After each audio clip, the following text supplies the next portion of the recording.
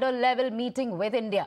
This included maintaining the momentum of resumption of bilateral ties, effectively managing differences and safeguarding the stability at the borders.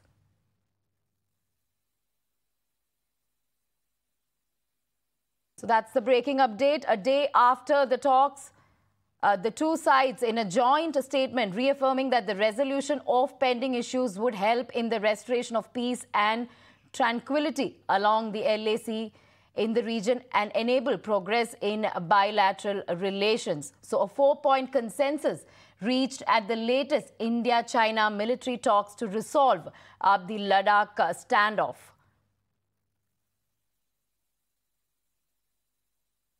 Uh, we have uh, Srinjoy uh, live with us on the story. Srinjoy, looks like India and China has agreed to maintain dialogue to arrive at a mutually uh, uh, acceptable resolution at the earliest.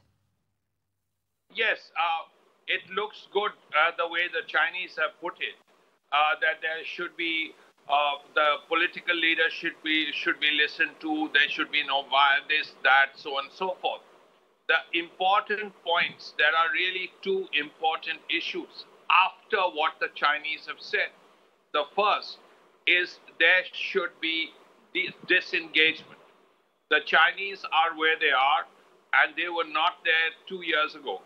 And they should move from where they are to where they were two years ago. That's the most important thing.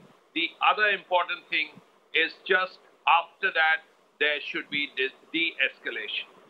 After that, move all your troops. Over to you. All right, thank you, Srinjoy, for all those updates. So, four-point consensus reached at the latest India-China military talks to resolve the Ladakh standoff. So that's a statement given by Chinese military saying that a four-point consensus has been reached with India, which included maintaining the momentum of resumption of bilateral ties, effectively managing differences and safeguarding the stability at the borders.